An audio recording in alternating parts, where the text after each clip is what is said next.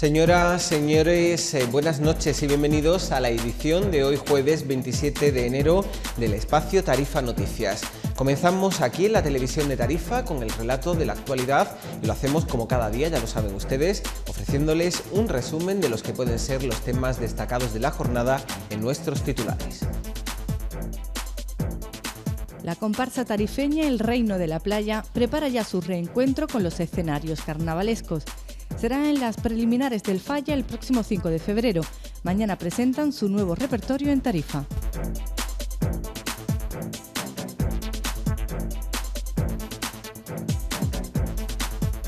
El sacerdote tarifeño Antonio Garrido ha sido nombrado por la Junta Local de Hermandades como pregonero de la Semana Santa 2011.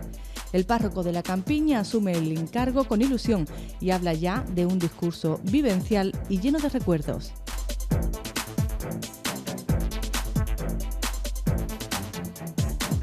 El Club de Natación de Tarifa estará presente el próximo fin de semana en el Campeonato Nacional de Invierno. El máster Juan Manuel Salazar, campeón andaluz de los 200 espaldas, aspira a traerse a casa alguna medalla.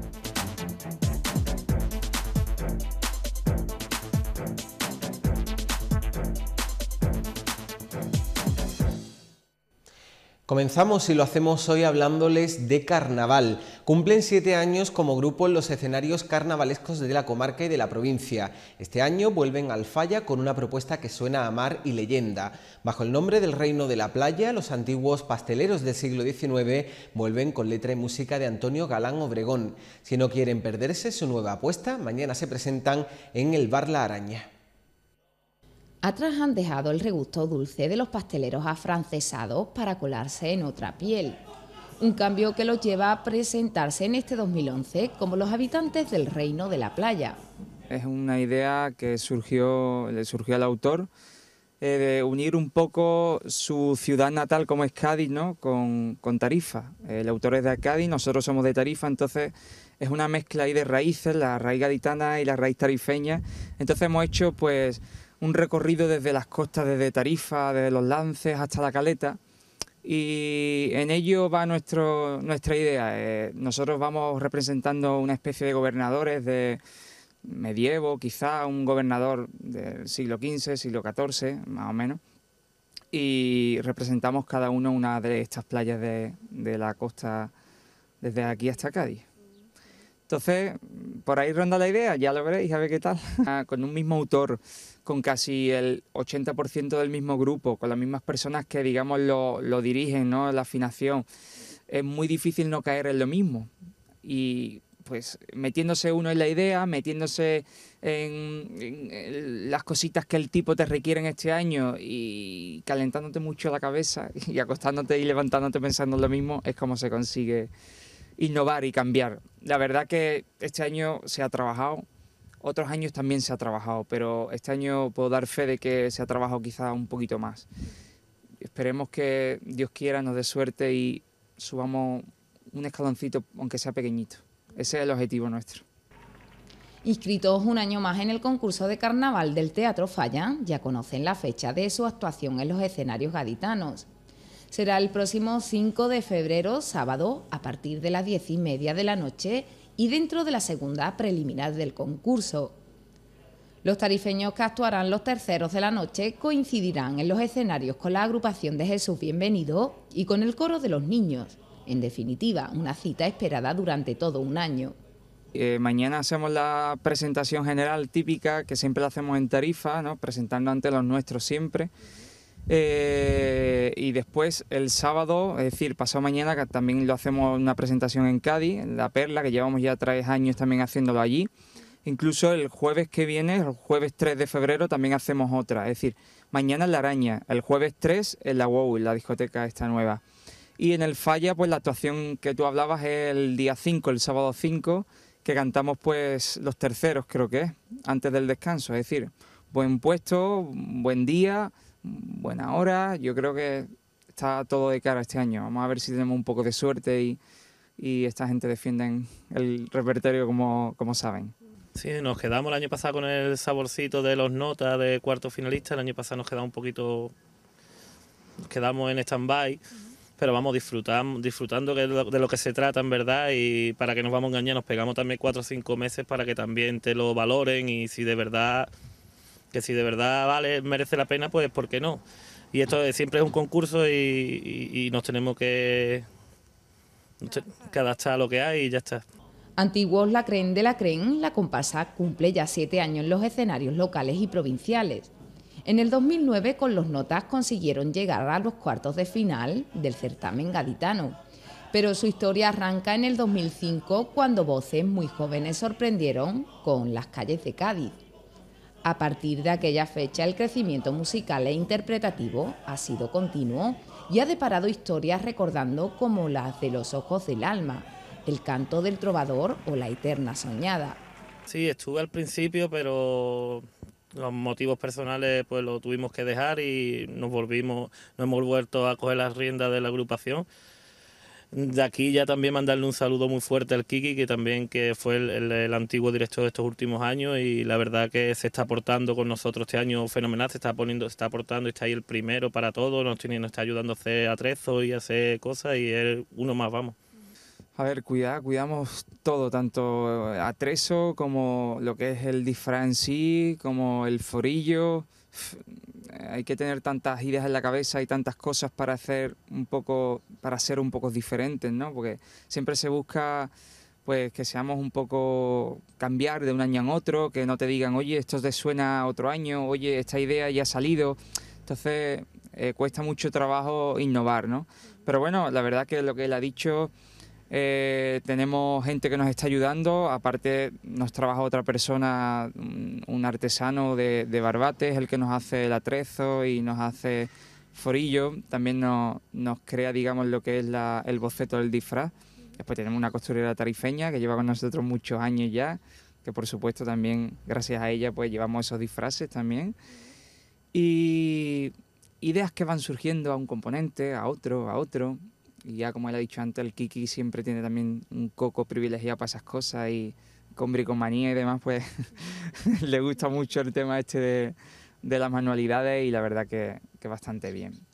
Y nada, y también decir, hay dos o tres cambios de componentes, ¿no? Que, que bueno, que han surgido así por problemas personales, casi todos pues han dejado de salir este año en la agrupación, unos por estudio, otros por trabajo y hemos incorporado a dos chirigoteros, así una perdona, tres chirigoteros, así una casualidad, pero tres chirigoteros han cambiado de modalidad y se han venido a una comparsa. Y la verdad es que estamos muy contentos con el grupo que tenemos, con director nuevo también, que bueno, la verdad que el Kiki no lo hacía nada mal y hemos puesto este año a Juan que también se ofreció y la verdad que estamos muy, muy contentos, el grupo está contentísimo de cómo está funcionando este año. Y a mí también me está ayudando otra persona que es Francis Moya, que, que también lo que hacía tiempo que lo quería coger y, este año aceptó y mira, pues nos está echando un gran cable y todas las ideas que nos aporten desde fuera, pues nosotros estamos abiertos a, ya te digo, a no quedarnos en lo que ahí atrasados ¿no? y estancados y a innovar todo lo que sea. La comparsa reúne este año música y letra de Antonio Galán Obregón y dirección de Juan Cádiz Vaca presentan su nuevo repertorio mañana viernes a partir de las 9 de la noche en el Bar La Araña. También el sábado siguiente en Cádiz, en la Peña de la Perla. Cambiamos de asunto. El sacerdote y párroco de la campiña tarifeña, Antonio Garrido, ha sido nombrado pregonero de la Semana Santa de este año 2011. La Junta Local de Hermandades y Cofradías lo decidió así. Y así se le trasladó también a este joven sacerdote, cuyo nombramiento ha aceptado con ilusión y gran responsabilidad y entrega. Sus palabras podrán oírse en San Francisco el próximo día 3 de abril a la una de la tarde si no hay cambios de última hora. Antonio Garrido, sacerdote de tan solo 32 años, volvió a Tarifa desde su formación como párroco de la Campiña. Se encuentra feliz, según él mismo confiesa, en su puesto y con la población de Facinas y Villa a su alrededor. En estos días afronta una nueva ilusión, la de ser pregonero de la Semana Santa de Tarifa en esta edición del 2011. La noticia se recibe con, alegría, con, no quiero que, que sean palabras repetidas ya, sino con alegría, con muchísimo respeto y con la obligación moral de aceptarlo No ha sido la primera, la primera vez que me lo ofrecieron. Eh, al finalizar mis estudios, cuando era diácono, me llamaron para, hacerlo, pero en esa etapa de diaconado no podía porque tenía que estar plenamente a, la, demanda del obispo. Entonces no podía yo retirarme. Coincidió eh, esa cuaresma con mi ordenación de diácono. Tuve que decir que no y ya a los cuatro años pues ya me lo, me lo, me lo sugirieron en allá por el mes de mayo. Me hice un poquillo el tonto y ya el día de la entrada de la Virgen de este año, en septiembre, el día de la cabalgata, pues ya se me pidió nuevamente por favor y ya me tengo que decir que sí, aunque con muchísimo, con muchísimo respeto. Se pone en tensión por muchos motivos, porque la gente te conoce de toda la vida, la gente espera algo de ti que tú no sabes si vas, si vas, a, saber, si vas a saber dar. No me considero ni poeta ni dado a, ese tipo de actos pero bueno, mm, dado a mi vivencia como cofrada aquí en Tarifa no pude, no pude negarme, claro que sí. Su objetivo como sacerdote es el de seguir trabajando por la parroquia a la que ha sido designado. Aún le quedan seis años de trabajo arduo por delante, sobre todo porque en Taivilla, por ejemplo, tienen graves problemas con el templo. Todas estas labores le dejan poco tiempo libre, pero a buen seguro que esos minutos de asuento son empleados ahora a la confección de su pregón un discurso intimista y vivencial muy vinculado a su juventud en San Francisco, iglesia a la que se siente especialmente vinculado. No va a ser un pregón de un pregonero experto en esta materia, va a ser un pregón ante todo de un cura, de una vivencia muy íntima desde la fe, como un joven que nace de una cofradía concreta, eh, vive la Semana Santa y este joven después el sentir cofrade lo ha llevado a un sentimiento mucho mayor, a una fe mucho más comprometida como es la, vocación al sacerdocio. En ese ámbito eh, se parte el pregón. Decirte que el pregón es en San Francisco y me voy a dirigir a, ese templo, a esa iglesia que, todos conocemos, como algo muy mío, como, como si estuviera en, ese lugar donde he nacido la fe, donde he nacido al, al sentimiento cofrade, donde me he criado, donde he vivido eh, junto con mi cofradía, mis hermanos, mis amigos, eh, desde, desde muy pequeño hasta que me fui al seminario. Se van a dedicar a varias personas, a personas que están en el cielo, como mis abuelos que me enseñaron a querer a la Virgen María, a la Virgen de la Luz, a la Virgen de los Dolores, y a personas que están aquí en la tierra, gracias a Dios, como es mi padre que, me llevó a, sentir y a querer y amar a la patrona, y como es a mi hermano que me, que me llevó también a una cofradía concreta, al Cristo del Consuelo, y después, como voy a decir en el pregón, a esos amigos que no hace falta nombrar, pero que ellos sabéis cuáles son el puesto que tienen en mi vida, que han tenido en mi, en mi trayectoria y que han hecho que llegue hasta aquí tal y como soy. El pregón de Antonio Garrido se espera para el domingo día 3 de abril en la iglesia de San Francisco a la una de la tarde. Y junto a sus dedicatorias, Antonio Garrido afirma no olvidar tampoco a sus gentes de Facinas y Taivilla, quienes le siguen de cerca y con cariño.